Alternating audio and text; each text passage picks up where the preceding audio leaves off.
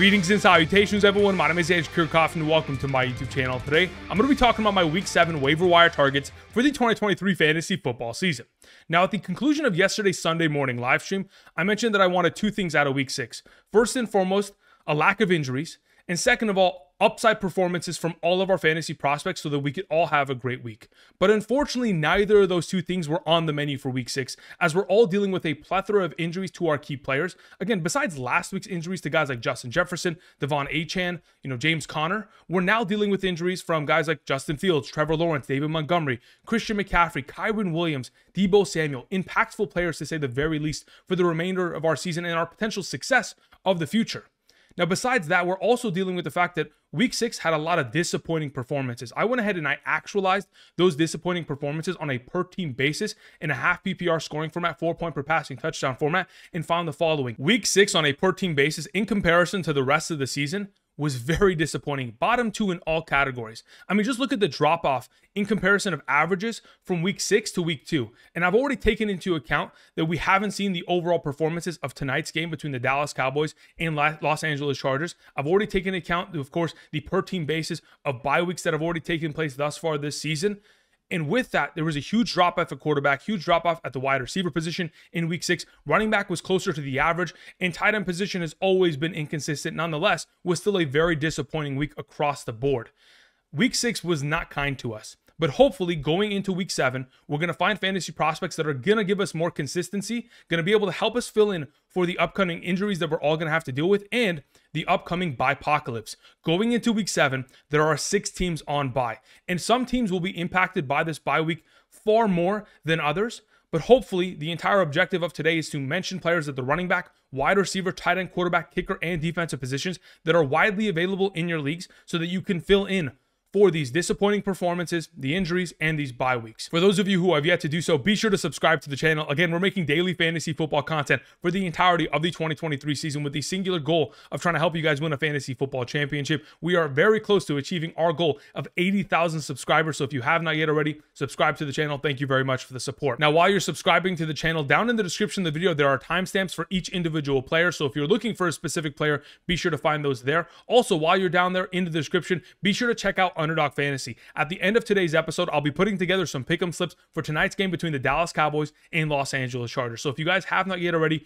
be sure to use code Andrew via Underdog Fantasy. Make that first time deposit minimum of $10 because not only are you going to get the first time deposit match up to $500, which again, limited time offer, you're also going to get my rankings sent to you every single Sunday morning. I will personally send you guys my rankings, which is by position, by tier, top 100 flex half PPR, full PPR every single Sunday morning for the remainder of the season. So, regardless of what you're doing on Sunday mornings, you'll have my rankings and an upper hand upon your league mates. So, if you're wondering if you have the opportunity of helping me help you for the remainder of the season, be sure to check out the map to the right side of the screen to determine your eligibility. Draft responsibly via Underdog Fantasy. And again, if you sign up today, you'll have an opportunity of putting together a pick'em slip with Dak Prescott 0.5 total yards so you can start off your journey via Underdog Fantasy the right way. Thank you very much for supporting. All right, let's move on to the running back conversation talking about our top six waiver wire running backs going into the week. A reminder players like Chuba Hubbard, D'Onta Foreman, Roschon Johnson, Tyjae Spears, Jaylen Warren, they should already be rostered in your leagues. And the percentages at which they're already rostered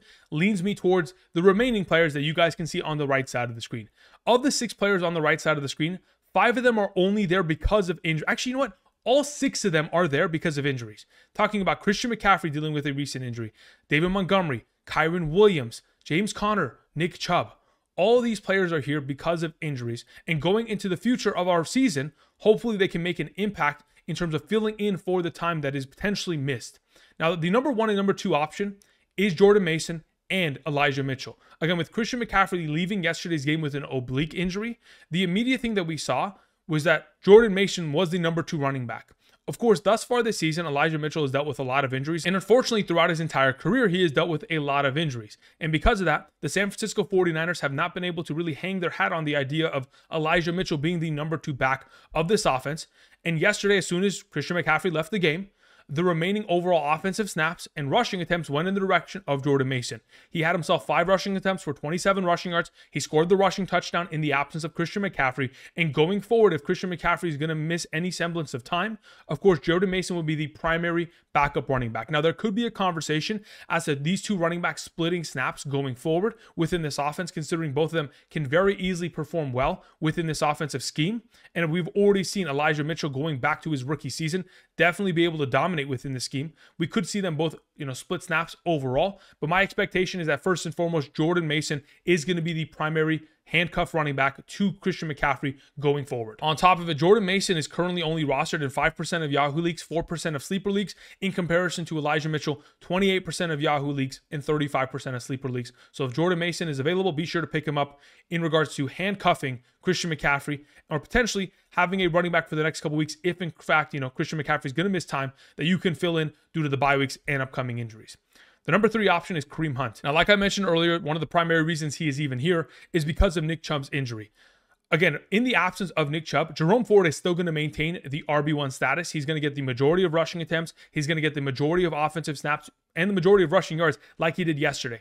But we have all seen that Kevin Stefanski really does prefer Kareem Hunt as a goal line back. And that's what we've witnessed over the last couple seasons, going back to 2020, where we have seen the vulture nature of Kareem Hunt take over. Kareem Hunt yesterday had himself 12 rushing attempts, 47 rushing yards, and stole a touchdown with a nice rushing touchdown there. Three targets, three receptions, 24 receiving yards, 14.6 fantasy points.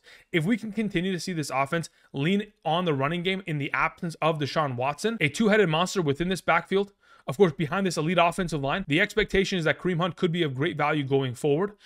As of this current moment in time, he's already rostered in 36% of Yahoo leagues, 45% of sleeper leagues. So he may not be readily available, but if in fact he is, could definitely help going forward. Our number four is Keaontay Ingram.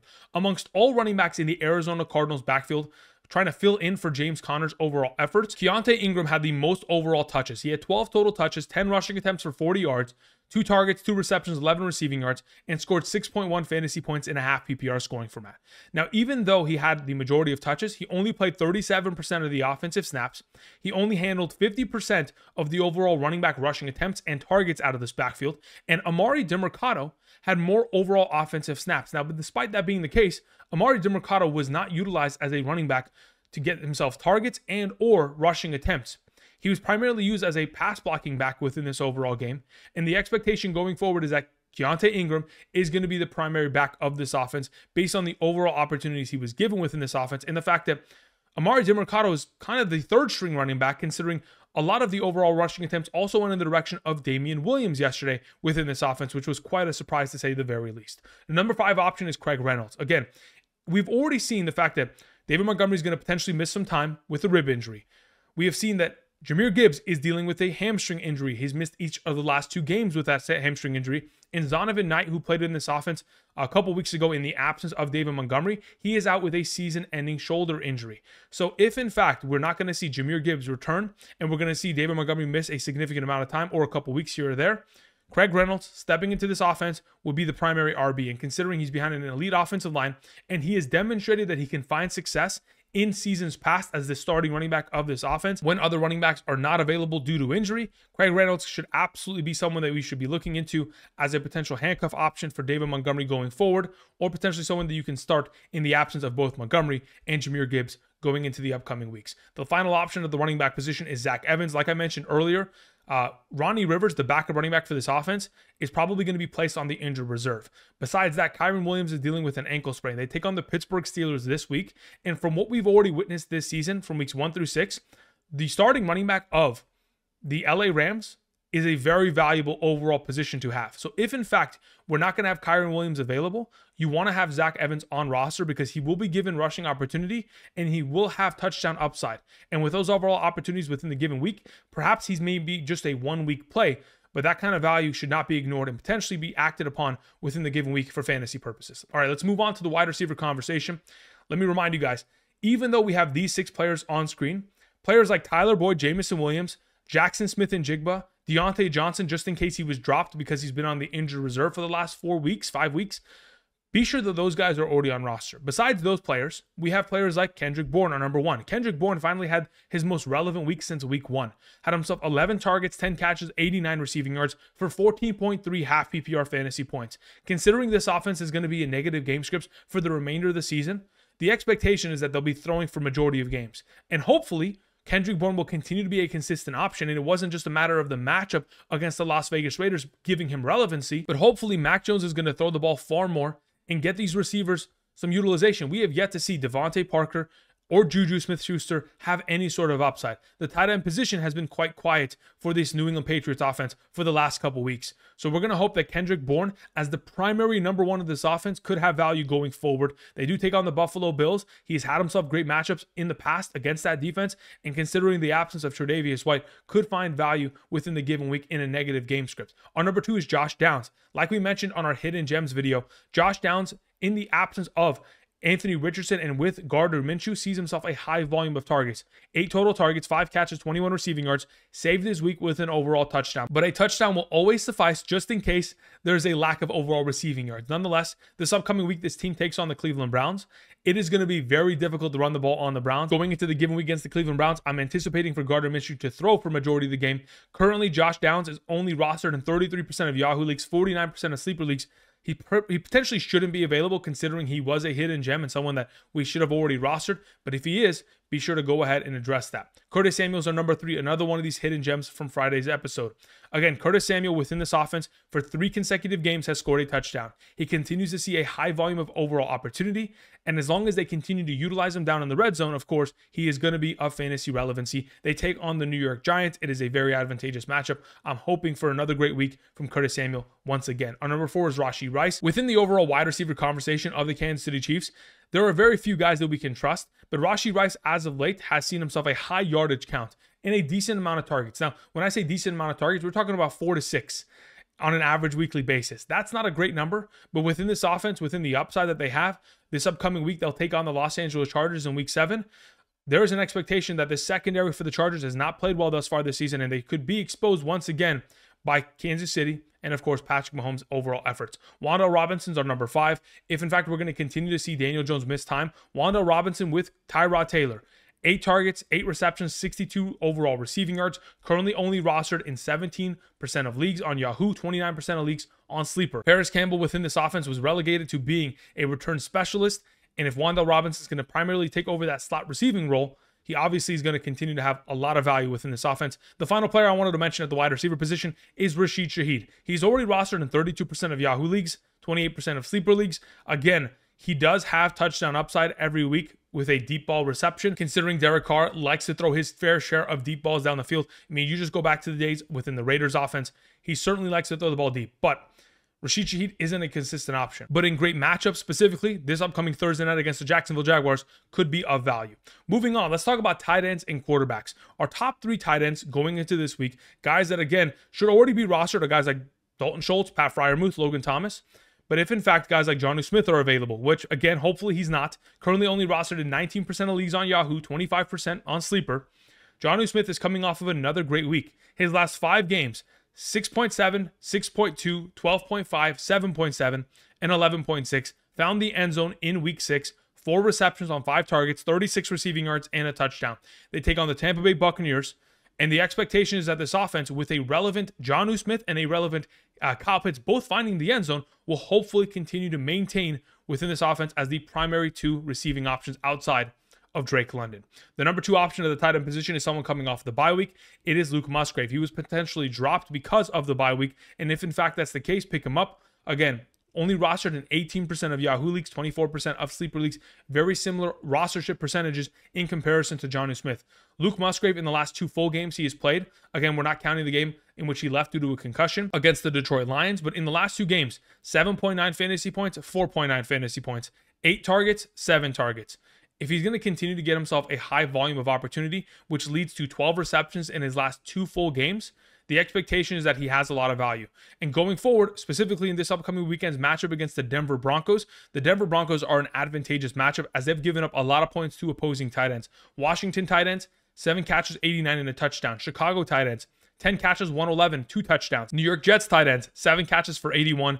And of course, Kansas City Chiefs tight ends, 11 catches for 138 against that defense. We're hoping for upside potentially for Luke Musgrave coming off of the bye week. Michael Mayer, the rookie tight end that many of us thought could have immediate value going into the season, who unfortunately has not been able to kind of break away from Austin Hooper within this overall offense, has seen himself far more opportunity in the last two games.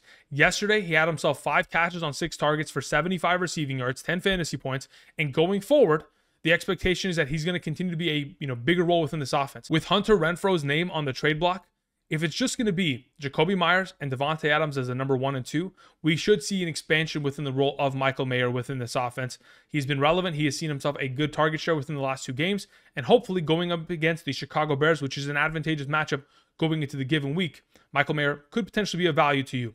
Let's talk about the three quarterbacks that I really like going into the week. It is thin at the quarterback position, considering there are six teams on bye, but the Angry Bird, Sam Howell, is our number one. I mean, we've mentioned him every single week for the last like four weeks now, but currently only rostered in 38% of Yahoo leagues, 40% of sleeper leagues. Sam Howell, five of his six games this season consist of 15 or more fantasy points. Week six is the first game of his career in which he had three passing touchdowns. Sam Howell, continuing his streak of success, going up against the New York Giants, should be a good week for him. We move on to Baker Mayfield. Even though he sustained a injury yesterday, it's to his non-throwing hand. I'm not too worried about it. In the three games this season in which the Tampa Bay Buccaneers have taken on teams that are not elite in the NFC. So basically, not the games in which they took on the Detroit Lions or Philadelphia Eagles. When he when they've taken on the Chicago Bears, New Orleans Saints, or Minnesota Vikings, Baker Mayfield has put up 16.02, 18.38, and 22.94. Taking on the Atlanta Falcons, not an elite team in the NFC, the expectation is that we should see Baker Mayfield find value. Derek Carr is the final option. Derek Carr in the last two games, 15.72, 16.32. They take on Jacksonville. Jacksonville may be without Trevor Lawrence, and if that's going to be the case, there may be a lot of opportunities for this defense to force turnovers, get the ball back, and give Derek Carr an opportunity to throw the ball. We just saw Gardner Minshew throw for over 300 yards against this defense, so there's an expectation that Derek Carr should be able to air it out against a team that obviously is pretty good in terms of stopping the run. So hopefully Derek Carr can step up with the task on hand. Let's move on to kickers and defense slash special team. Let's talk about our three kickers. Number one, Blake Grupe in the last three games for the New Orleans Saints 10, 14, and 9 fantasy points. They take on the Jacksonville Jaguars on Thursday Night Football. He is available in 95 plus percent of leagues, both Yahoo and Sleeper. So be sure to go ahead and pick him up if you need a kicker. Let's talk about Dustin Hopkins. Again, in the absence of Deshaun Watson, there wasn't an expectation that this team could score a high volume of points, especially kicking points. But Dustin Hopkins, regardless of weather, has demonstrated within the Cleveland offense he is definitely of value. Thus far this season, his fantasy point outputs in his five games 12, 9, 12, 5, and most recently 17. So we're in a conversation here taking on the Indianapolis Colts at home that they could end up scoring a high volume of points once again from the kicker position. Moving on to the final option, Chris Boswell coming off of the bye week. Again, Chris Boswell only rostered in 7% of Yahoo leagues, 3% of sleeper leagues. He's coming off of the last four games of 12, 15, 6, and 11 fantasy points. They take on the LA Rams. Of course, this offense continues to stall out near the red zone. Chris Boswell will be of value. Let's talk about our top three defenses. Number one, Cleveland Browns. The fact that they were able to do what they did yesterday to the San Francisco 49ers is ridiculous. Of course, if Jake Moody didn't miss two field goals, you know, we wouldn't even be having this conversation to its capacity, but the Cleveland Browns defense certainly has demonstrated that they can stop opposing offenses. And considering the fact that we just saw Gardner Minshew throw three interceptions against the Jacksonville Jaguars, you know, why not against the Cleveland Browns, who is an even better defense thus far this season, forcing a lot of turnovers and having themselves upside within the given week. The Tampa Bay Buccaneers are another defense I wanted to mention. They take on the Atlanta Falcons. The Falcons will not be at home. Desmond Ridder on the road is a mess. And considering that situation, there is an expectation that we should see the Tampa Bay Buccaneers defense, who played very well yesterday against the Detroit Lions. But despite the loss, they primarily were great in terms of stopping the run, which again, against the Atlanta Falcons, is the key to finding success thus far this season in the three games in which they haven't played against elite offenses. So when they haven't played against the Philadelphia Eagles and or Detroit Lions, when they played against Minnesota, Chicago, and New Orleans, we have seen the Tampa Bay Buccaneers defense put up 9, 17, and 13 fantasy points as a defense. The final option is the Green Bay Packers defense, again coming off of the bye week. They take on the Denver Broncos. Defenses against the Denver Broncos in the last two games have scored 18 and 14 fantasy points. They could be a value taking on Russell Wilson, who cannot stop turning over the ball. There's an expectation that the Green Bay Packers defense, of course, are going to look in the mirror after their last performance against the Las Vegas Raiders, and they're going to step up as a defense. And of course, with all the first round picks that they have in high draft capital, hopefully put together a performance against the Denver Broncos that is relevant for fantasy purposes. All right, with that all covered, let's go ahead and let's transition and talk about some underdog pickups for tonight's game before we close out today's video. Let's check that out. So as of recording this video, I had an opportunity of taking Justin Herbert at 0.5 total yards. Again, this was just a special play and it ended at 3:30 Eastern Standard Time. So probably by the time that this video is up, it probably won't be available. But you got to keep an eye on, you know, Underdog Fantasy and their pick'em slips because it may have an opportunity of taking advantage of that. I went ahead and put them alongside of CeeDee Lamb and Tony Pollard in terms of both of their yardage counts going higher. But if in fact I'm going to give you my favorite play of the day, it would be CeeDee Lamb going higher on his receiving yards and Austin Ekeler going higher on his total fantasy points. Again, we know that Austin Ekeler is a machine for fantasy. He is a touchdown machine. I think he scored what 39 touchdowns in the last 36 regular season games he has played. He has been a machine. He's going to find the end zone, and if and when he does, the yardage is going to be there. The receiving upside is going to be there. He's my top two, you know, you know, ranked running back within the given week. The expectation is that 16 fantasy points and a half PPR should not be difficult for him to amass over the course of this game. And I think CeeDee Lamb against one of the weakest secondaries, the best matchup at the wide receiver position, should be able to get himself a high volume of targets, receptions, and of course, receiving yards to tack on top of that. That's my play of the day to conclude week six of the 2023 fantasy football season. So be sure to go ahead, travel on over to Underdog Fantasy. If in fact you like some of these potential other plays, again, whether it's one of these other plays at these other positions, you can go ahead, take advantage of the opportunity, travel on over to Underdog Fantasy, put together a pick'em slip in regards to potentially players on both sides of this matchup. Because again, this should be a higher scoring event between these two teams. I'm just trusting in the idea that Austin Ekeler should be able to score a high volume of fantasy points as he typically does. And like we've seen in the last couple weeks, Justin Herbert has highly benefited from the fact that there has been no Austin Ekeler, and he's been able to fall into the end zone with those overall opportunities. Those are going to go in the direction of Ekeler. Ekeler could score two touchdowns today, and if in fact that happens, he'll easily amass the fantasy point total that I'm looking towards. Anyway, thank you everybody for watching. Tomorrow I'll return with my running back rankings for week seven. Click the like button down below. Subscribe if you haven't yet already. Use code Andrew via Underdog Fantasy. Again, take advantage of the opportunity. And until next time, thank you everybody for watching. I'll see you guys. Peace.